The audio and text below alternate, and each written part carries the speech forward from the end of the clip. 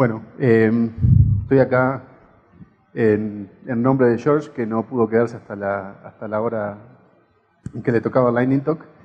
Y lo que les voy a mostrar en algún momento es eh, un proyecto interesantísimo, a mi juicio, que tiene que ver con algo que también mencioné esta mañana. ¿Se acuerdan cuando les hablé de los módulos de seguridad hardware, los HCMs? Se relaciona con eso. ¿Quiénes usan software libre acá? ¿Sabían? ¿Y cuántos saben que hay una movida de hardware libre? Ah, bastante. Bien. Bueno, entonces les va a interesar. Eh, el proyecto que les voy a hablar es un proyecto que se llama Cryptech y tiene que ver con el desarrollo de un HCM de código libre de alguna manera. Obviamente el hardware no puede ser gratis en el mismo sentido que lo puede ser el software en el cual simplemente se lo baja y es gratis, porque el hardware tiene costos de producción, etcétera, etcétera. Cuando hablamos de hardware libre, hablamos de que el diseño y todos los elementos que ustedes necesitan para construirse uno están libremente accesibles. La preocupación viene un poco por lo siguiente. El mercado de los HCM, como también lo mencioné hoy de mañana, es un mercado súper concentrado. Hay muy pocos fabricantes de HCMs, manejan muchos protocolos extremadamente propietarios. ¿Se acuerdan cuando les hablé de mañana cómo era el proceso de clonar un HCM, de sacar la clave de uno y ponerla del otro? Bueno, prácticamente no hay manera de hacer eso entre fabricantes de dos, HCMs, eh, entre fabricantes distintos de HCMs. Eso este, no es bueno, ¿verdad? Creo que todos estamos de acuerdo en que no es bueno. El hecho de la concentración en pocos fabricantes y la aparición de este señor no ha hecho más que alimentar las sospechas acerca de algunos de esos fabricantes.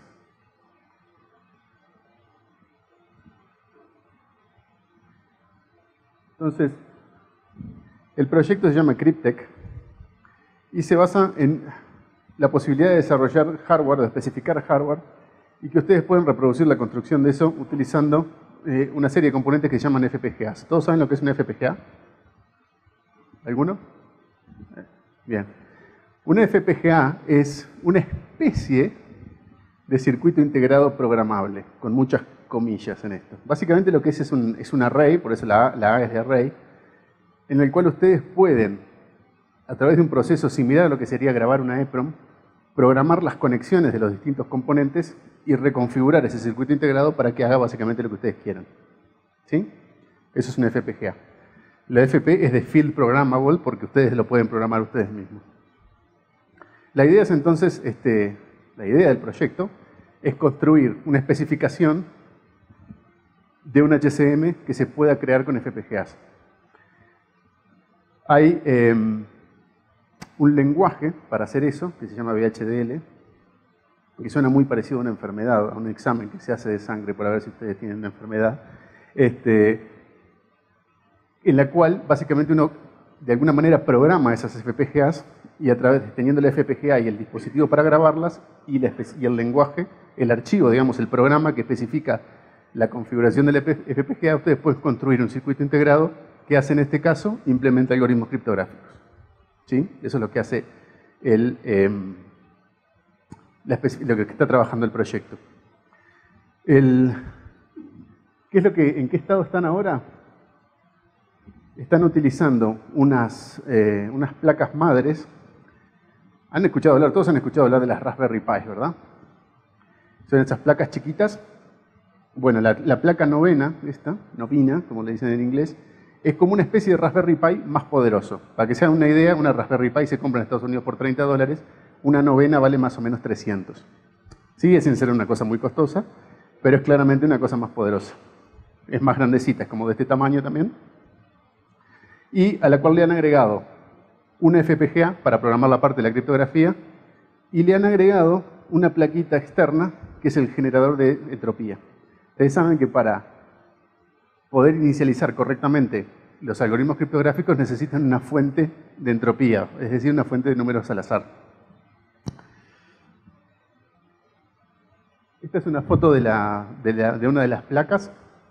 La placa esa que tiene los LEDs azules, bueno, eh, ahí se ven azules, pero ahí no.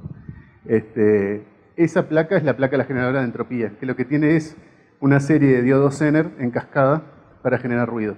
¿sí? Esto me encanta porque me hace acordar cuando yo sabía algo de electrónica, ¿no? hace 20 años. Este, eh, nosotros tenemos, eh, George tiene una y yo tengo otra, eh, placas de estas para, con las que hemos estado probando alguna cosa.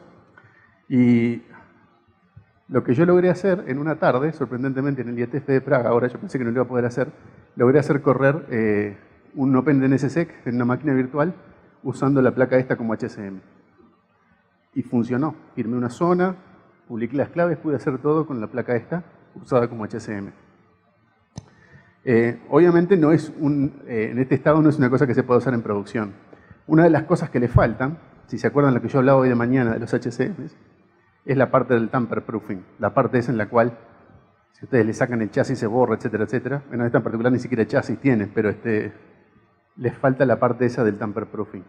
Es una cosa en la cual la gente que está trabajando en el proyecto ¿Y qué pasa? El tamper proofing es una cuestión que, involucra electrónica, pero también involucra mucha cuestión de, armado mecánico, ¿verdad?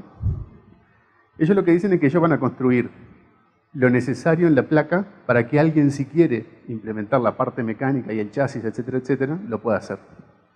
Pero no es, en el caso de ellos no es este, un objetivo del proyecto. El otro, la otra pregunta que a alguno le puede surgir, sobre todo lo que están más relacionados con el tema HCMS, es el tema certificación.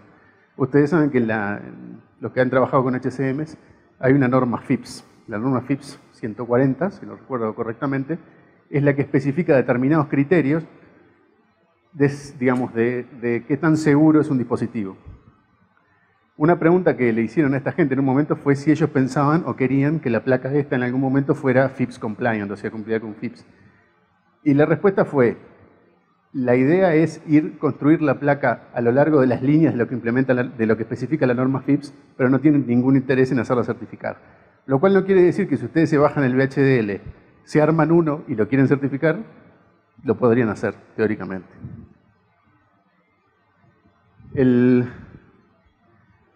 Hay dos cosas que en realidad necesita el proyecto este para seguir adelante. Necesita, adivinen qué, dinero. Em, voy a hacer un par de comentarios sobre eso. Pero el otro tema que necesitan también es personas interesadas en trabajar de esto.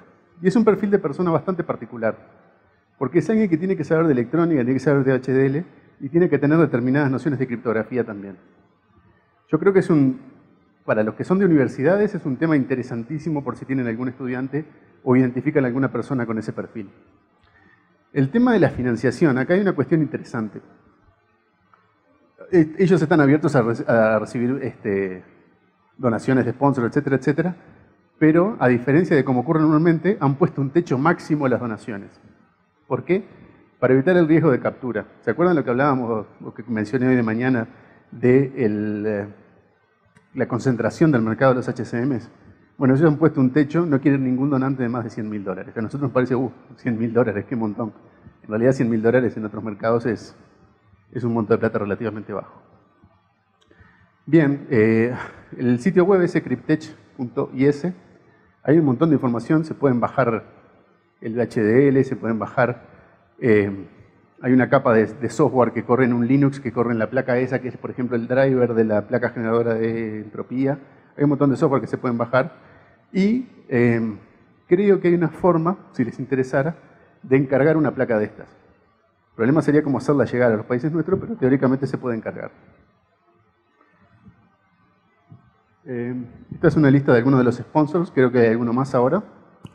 Eh, y si van también al sitio de, del Cryptech, hay algunas presentaciones mucho más eh, que van a lo técnico que esta, que es, este, que es un overview de muy alto nivel del proyecto.